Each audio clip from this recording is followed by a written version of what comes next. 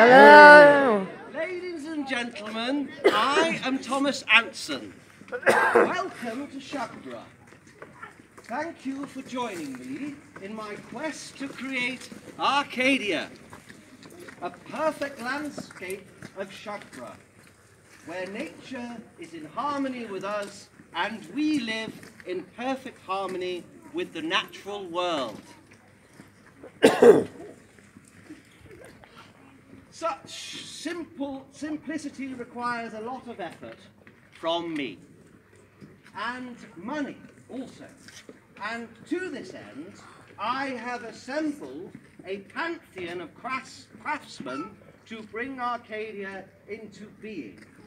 First is my designer in chief, Master Archibald Tett. Hello. Uh, thank you very much, Mr. Anson. Hello, yes, I am Archibald Tett. I am an architect.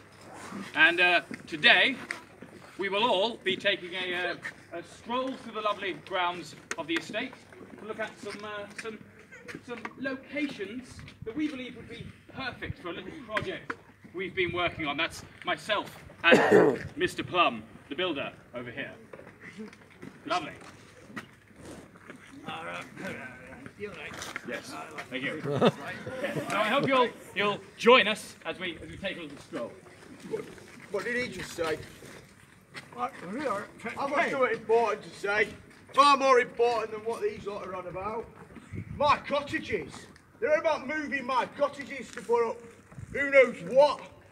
I've lived in these cottages for, for many, many generations. I lost two wives in this cottage. Don't know where I put them. They've wandered off somewhere. It's beautiful. Beautiful. It might smell of sewage, and I might have got cholera because of it, but it's my cottage. Might not be perfect, but it's mine. Arthur, I've got something to say about that. Mr. got something to say. I know he knocked down our cottages, Arthur, but he did give us those lovely new ones just down the road. Exactly, and yes. they had doors and everything. Witchcraft. I know. I, I know you think it is. I know. And windows. Oh. Windows. Witchcraft as well. Mm-hmm, mm-hmm. And there was even an upstairs. And upstairs. and up and upstairs. I always thought that if God had wanted us to be taller, he'd have made us be like legs, but now I know there's upstairs instead.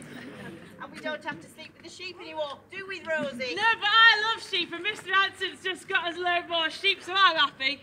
Very happy. So if you've got any sheep, send them my way. Now, as you know, my brother George Anson is currently away on a voyage, sailing the high seas, doing great work for the British government. I have had news that George is sailing home for Christmas Hooray! and will arrive tonight. Hooray! I wish, in the spirit of Arcadia, to make his welcome home perfect. To this end, Master Tett, I believe you have a surprise for him. Yes, yes indeed we do. Master Plum, would you reveal the pagoda? There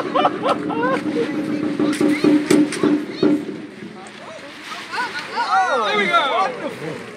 Flawless. Flawless reveal. Oh, wonderful, wonderful. There we are. This, of course, we must find a spot for it. Yes.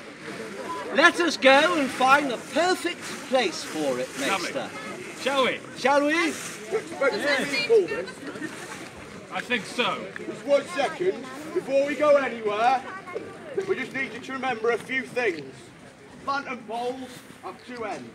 So watch both ends as you walk in, don't lose any eyes or any fleshy bits. If they do set on fire, just abandon them at the side, out of the way of the path, and we will sort them out, put them out. Watch out as we're going out, because there might be some low-hanging trees, and there might be some holes and some dips and some puddles. Just be careful as you walk, and hopefully we'll find somewhere put, what is it again? It's a pagoda. A poo what? A A potato. pagoda. A Chinese pagoda. I, I can't come today. I'm not interested. Pagoda. Potato. A potato? We're going to follow you then, aren't we? Yeah, good. All right. All right, let's get that. You go